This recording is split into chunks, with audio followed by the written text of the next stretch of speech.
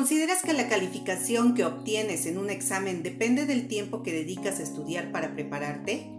¿Podrías predecir tus calificaciones basándote en las horas de estudio? ¿Qué otras variables crees que influyen en tus calificaciones? Cotidianamente observamos variables que guardan una relación entre sí, es decir, el valor de una de ellas está sujeto al valor de otra u otras variables. Por ejemplo, podríamos intentar predecir el rendimiento de un cultivo en función de la cantidad de fertilizante que se le suministra, pero si incluimos otras variables como la cantidad de agua y el número de insectos polinizadores, nuestra predicción sería más exacta.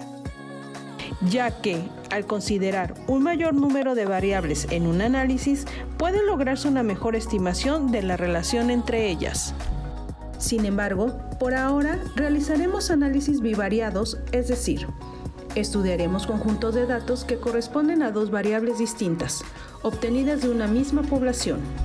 De manera particular, nos enfocaremos en aquellos casos que relacionan dos variables cuantitativas, en los que los valores de una de ellas se modifican sistemáticamente con respecto a los valores de la otra como sucede con la estatura de los niños, la cual aumenta conforme aumenta su edad. Este estudio se denomina análisis de correlación simple. ¿Qué harías para determinar si dos variables están relacionadas o no? Primero, si es posible, identifica la variable independiente o de entrada, es decir, aquella que aumenta o disminuye su valor de forma sistemática, y la variable dependiente o de salida, cuyos valores están en función de la primera variable.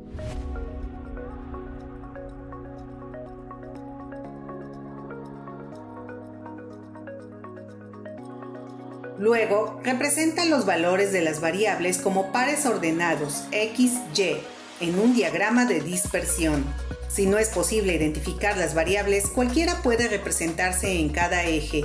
El diagrama entonces mostrará el tipo de relación, mas no la causalidad entre las variables. Consideremos la relación entre las calificaciones de un examen y las horas de estudio. El diagrama de dispersión correspondiente lo obtenemos copiando los datos de una hoja de Excel. Luego lo seleccionamos y en una barra de herramientas damos clic en la opción Insertar. Abrimos el menú del gráfico de puntos y elegimos la primera opción. Posteriormente, podemos agregar los títulos de los ejes.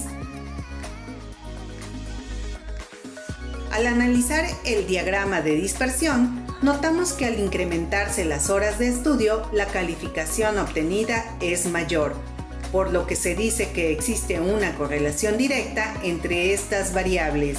El valor de una variable disminuye conforme el de la otra variable aumenta, como sucede con un auto, cuyo valor se deprecia conforme van aumentando los años de uso, presentándose una correlación inversa entre las variables. En los casos anteriores, observamos que los puntos del diagrama de dispersión tienden a agruparse de manera aproximada a una línea recta, por lo que en ambos la correlación se considera lineal, directa e inversa respectivamente. Cuando no existe un cambio definido en los valores de una de las variables, conforme se modifican los de la otra, los puntos en el diagrama de dispersión no muestran una tendencia clara, siendo complicado interpretarlo. Incluso es posible que no exista correlación entre las variables, por lo que siempre es más conveniente medir el grado de relación entre las variables por medio de un número llamado coeficiente de Pearson o coeficiente de correlación, representado por la letra R. El valor de R se ubica en un intervalo que va de menos 1 a 1 y cuando más cercano esté su valor al menos 1 o al 1, la correlación entre las variables será mayor.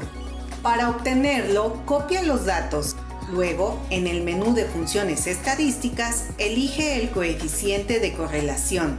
Selecciona las columnas de datos en la matriz 1 y la matriz 2, independientemente cuál corresponda a los valores X y cuál a los valores de Y. Como el que obtuvimos, nos permite interpretar que existe una fuerte correlación lineal directa entre las variables. Por lo tanto, es posible trazar una recta que pase lo más cerca posible de cada uno de los puntos, llamada recta de mejor ajuste o recta de regresión lineal. Para hacerlo, coloca el cursor sobre alguno de los puntos del diagrama de dispersión y da clic en el botón izquierdo. Con esto se marcan todos los puntos de la gráfica. Luego da clic con el botón derecho para abrir un menú. En este, elige la opción Agregar línea de tendencia. Al realizar lo anterior, se abre una ventana en la que debes marcar el tipo de tendencia lineal y, en la parte de abajo, se selecciona la opción Presentar ecuación en el gráfico.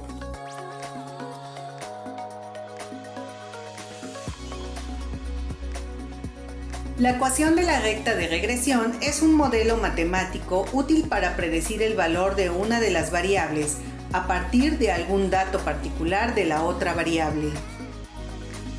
Para hacer predicciones es importante tener presente que los valores de la variable de entrada deben encontrarse dentro del intervalo de valores que abarcan del menor al mayor valor.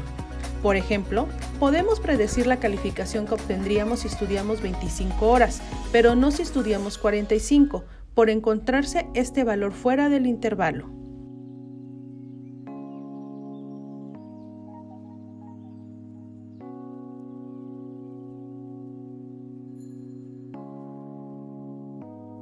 Recuerda que no se pueden hacer predicciones para una población distinta de donde se obtuvieron los datos muestrales, pues cada población tiene sus propias características, las cuales deben ser estudiadas de manera particular. Lo que sí puedes hacer es realizar el análisis que hicimos en tu propio salón, siguiendo el procedimiento manual que se muestra en tu guía y luego comprobar tus resultados con ayuda de Excel. Tal vez, en un futuro, puedas pronosticar tus calificaciones.